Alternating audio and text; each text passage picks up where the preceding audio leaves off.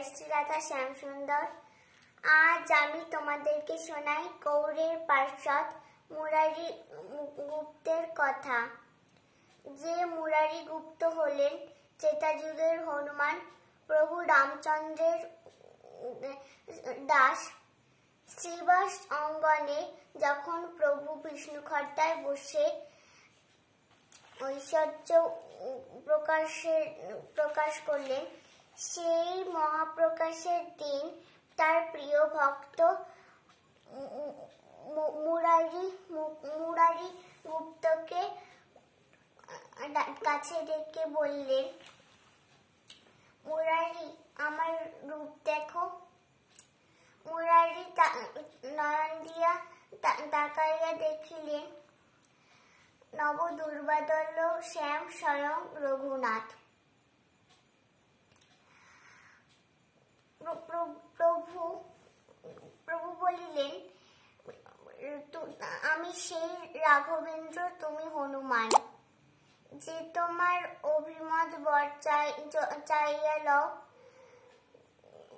মুরারি উত্তর করি, উত্তর দিলেন আর প্রভু আর নাই চাই। হেন করো প্রভু যেন তোর গুণ গাই করুণাময় গৌর হরি হরিদাসের প্রতি দৃষ্টিপাত করিয়া বলিলেন হরিদাস, যখন পাপিষ্ঠরা তোমার গায়ে কঠোর বেত্রাঘাত করিতে করছিল, তখন আমি বৈকুণ্ঠ হতে সুদর্শন পাঠিয়েছিলাম।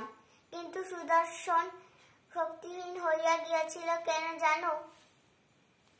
জানো কেন জানো?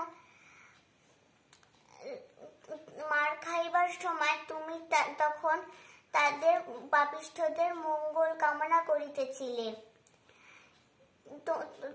কিন্তু মঙ্গল কাম, কিন্তু যখন মঙ্গল কামনা করছিলে, সুদর্শনের সাধ্য নাই তাহার ক্ষতি করে। তোমার গায়ে যতগুলি দাগ পড়িয়াছে, সবই দেখো আমার অঙ্গে। তোমার দাগগুলি আমার ভূষণ হইয়া আছে। হরিদাস তোমার দুঃখ সহ্য করিতে না পারিয়া আমি শীঘ্র আসিলাম।